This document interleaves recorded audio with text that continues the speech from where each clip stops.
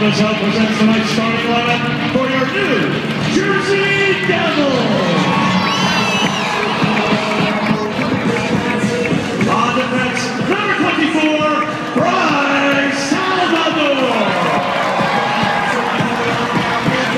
Also on defense, number 29, Mark Fayne. At left wing, number 26,